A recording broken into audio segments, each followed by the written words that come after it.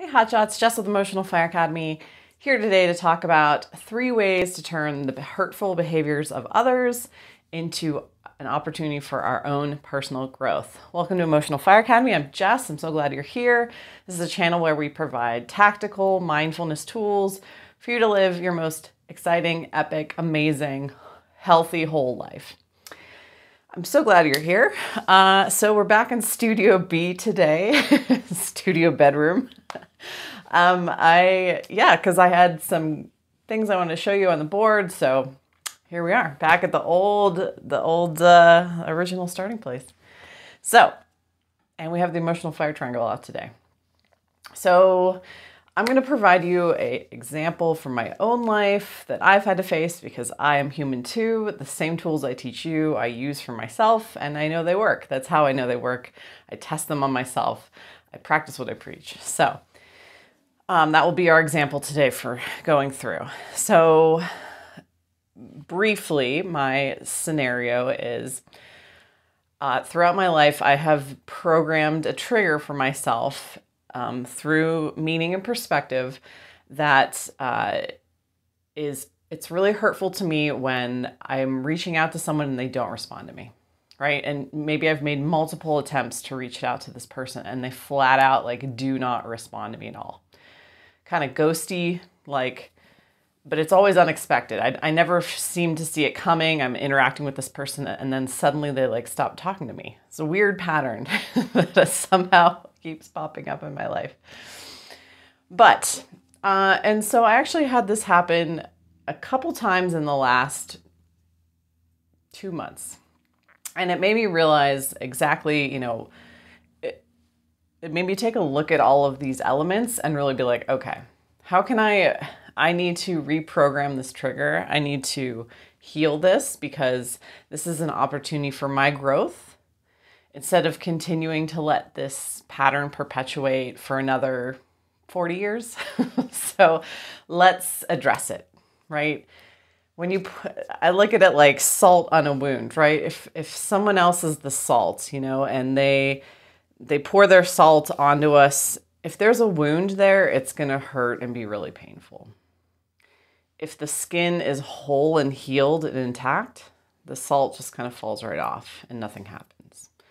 So this is the differentiation between, you know, and, and what are those two states, you know, having a wound versus being healed. The, that is where our work, our work as, you know, someone that wants to be healed, someone that wants to be unruffled, someone that wants emotional regulation, someone that wants to be stable inside. Our work is to just recognize, ouch, that hurt I feel the salt in the wound, and get to a place where the salt kind of rolls off. The salt hits the skin, but the skin is intact, and the salt kind of falls on the ground. And you know, we're doing this constantly with all the information and the data that we filter throughout our lives, throughout the course of the day, through all of our senses. You know, some of it really triggers us. The majority of it doesn't. The majority of it just passes through our senses and out and it's gone. So, and we want to move our work as per you know in personal growth is to move from having that emotional reaction that hair trigger to letting it just be one of the things that we experience and don't really attach that huge emotional reaction to so uh, yeah so back to the example so uh, this recently happened. I said it happened a couple times to me where people just flat out stopped responding to me when I was trying to reach out to them and be kind or connect with them or get together with them. And they initially expressed interest and then suddenly it was like nothing. Like they wouldn't respond to text message, it wouldn't respond to a call. And that brought this feeling up for me of, oh, it was really hurtful. It was really painful, right? So let's look at let's look at this example from okay. So what's the first thing we need to consider in a situation like this? Because a lot of people leave comments on my channel about eh, situations very similar to this. It's like my dad said this to me, my mom said this, my friend did this. You know, so this can be the behavior of someone else, something they said to you, a comment they made, their in my case, their failure to show up at all. You know, their complete absence Uh, so they're not really saying or doing anything, and that that is the problem in itself. so, so yeah. So the first thing we want to do, our first growth opportunity, when we have a situation where we're like, "Ouch, that hurt." Okay, I recognize I have a wound. I want to be whole in this area. Um, is to look at, and we go to the emotional fire triangle. Obviously, the three components of what cause our emotions are the combination of the perspective we're taking, our conditioning, so our habits, the habits we've practiced, and then the meaning we're making of something. So let's go to our perspective. This is kind of an eggs in one basket problem.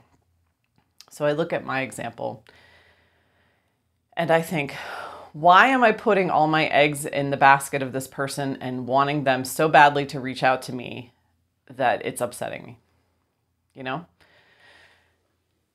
Often, again, we do this unconsciously is we're putting this person on a pedestal, right? We're putting their response on a pedestal or what they're doing on a pedestal as evidence of something about ourselves. So in this case, I was, you know, it was like, my perspective, my attention to this is the issue, right? I'm putting all of my eggs in that basket in that moment of expecting her to get back to me. And when she's not, and it just is like, my attention keeps fixating, right? So, our first growth how do we grow in this situation? Uh, recognizing it's an eggs in one basket problem. So we back up, right? We need to change our perspective in some way. So, how can we do that? We zoom in or out. So, zoom back a little bit. I like to zoom back and get a wider perspective. And in doing that, I'd be like, okay, does it really matter if she gets back to me or not? Like, does it really in a bigger picture? Like, I, I have other friends and many other acquaintances and many other opportunities to make new acquaintances. Does it really matter if she gets back to me or not right now? And the answer was no. it was like, okay, it's really it's not that big of a deal. Perspective, again, so change your perspective. This allows us to grow in being able to be flexible with our perspective and to release our grip on our attention to something that we think was a problem or an issue or shouldn't be happening. You know, when we develop the flexibility to change perspective, that's a growth opportunity for us. So, number two, then we go over to meaning, language. You know, what are we doing with our language in this situation? We have to look at the meaning um, of what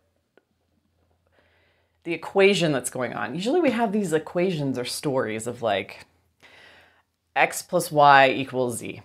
And that's, you know, I'm anticipating that. And when it doesn't happen, oh, that's when the emotional reaction comes up. So there's a wonky equation or story going on here. In my case, it was I trusted this person. I think that we're friends. And because we're friends, she has to get back to me. So, do you see how that can be when she doesn't get back to me? Then I begin to question the other parts of the equation. Like, okay, are we not friends then? Are we not friends? you know? So, the question, you know, if you can ask yourself, is, is that true? Does that necessarily, do all parts of those equation, that equation hold true? Can I still trust her to be my friend? And allow her whatever she's going through or whatever ha- is happening to her allow her the space not to respond and i can still be okay. That it doesn't mean anything about me. It has nothing to do with me. It actually has probably has to do with her and what's happening in her life. You know so we start if we can look at identify the story or the equation that we're telling and pick it apart a little bit and really question is this true? Is this true can I still be friends with this person and allow them the space to behave this way? Or allow them the space to um, go whatever they're th- go through whatever they're going through without t- taking it personally, without assuming that it means anything about me. You know, and this is again a growth opportunity in that we get more flexible with the meaning that we make of things. The meaning. This is all about the meaning we're making, the story we're telling we get more flexible with meaning. We can we can play with meaning and we can adjust meaning again to keep you know our sanctity intact of this doesn't mean anything about me. Because if we immediately go to, this means something about me, I am offended by this, this means something about me, we can grow and this, or, you know, this is about them and what's they're happening, and maybe have some compassion or pity or just unconditionality for them of it's okay. Like we can still be friends despite this. I'm not saying that we should put up with, you know, verbal abuse, physical abuse, things like this, uh, but being able to change the meaning gives more space and is able to maintain our higher higher motivations. Because what's my higher motivation? I would like to stay friends with her. Like that's that is my bigger motivation in all this. I would like to maintain the friendship. So recognizing what's your bigger motivation and adapting the meaning, telling a story that supports that higher motivation, if that makes sense. And then, so that's our growth, how we can grow then from that. And then number three is the third way we can do this is recognize that whatever we do with number one and two, whatever we do consistently is what becomes a habit. And our conditioning or habit is the third, the, the base of the triangle. And the growth opportunity is healing that trigger, right? Unprogramming the pattern, reprogramming the pattern. So, again, whatever we choose to do, you know, on both of these top two sides consistently is what becomes then settles to the bottom and becomes the habit that feels very unconscious. And that's how the trigger was formed in the first place, right? People in my past who didn't show up for me, who suddenly stopped talking to me, created this program where I had this story then come up of I'm not I'm not worthy when this person does this. I am not worthy. I'm I'm not seen, I'm not heard, I'm invisible. This feeling of invisibility. See how that so every time this happens, you know, no matter from that point on, once that program was installed, that's why I'm feeling the pain in the first place from this situation, right? Because this is an old program that got installed a long time ago. And then when it comes up, that's how I interpret the situation. That's how I interpret it. Not that that is the bigger truth of what is going on, but that's how I automatically interpret it. And then I feel the emotional reaction. So, how do we heal the trigger and unprogram? We do something different. We take a different perspective and we tell a different story consistently, right? And it doesn't have to take a lot of time people hear habit, they think, oh, my three weeks, oh my gosh, I'm going to have to do this all the time. It's a lot of effort, a lot of work. Doesn't have to be. Um, that's a limiting belief. Because just in these two instances, right, I said I had this happen twice. The first time in May, this happened with a, a guy friend of mine. Um, I was really upset. I was really upset about it. I was really upset, but I did these two things. I decided, I recognized, I'm like, ow, this hurts. This hurts a lot. I decided to take a different perspective. I backed up and I thought, does it really matter to me whether this person responds to me right now? No. And then I told a different meaning of like, this is whatever he's going through, however he's interpreting this, this is on him. I don't have to assume that there's some something lacking or wrong with me because he's behaving like this. So then when it happened again recently with a female friend, it was much less, I felt a little bit of the pain and I felt myself going back into the trigger, but I was much more removed. And I did the same thing. So I'm going to reprogram. I took a step back. Is it really matter if this person responds to me right now or not? No. I'm going to go put my eggs in other baskets, talk to people who do respond to me, put my attention on them.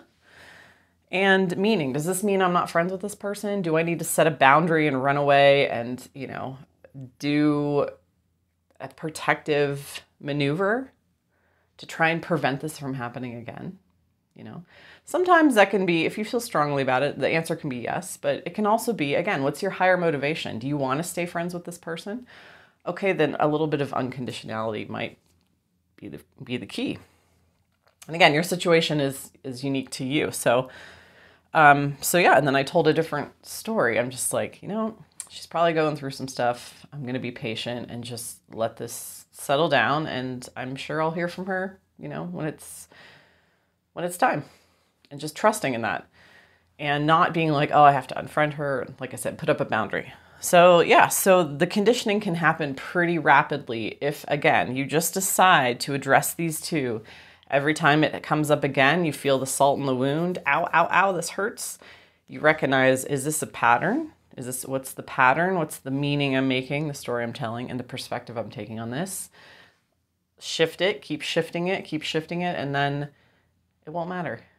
And then again, that problem, the trigger, the habit passes back into the data stream that you just kind of observe and release and is gone.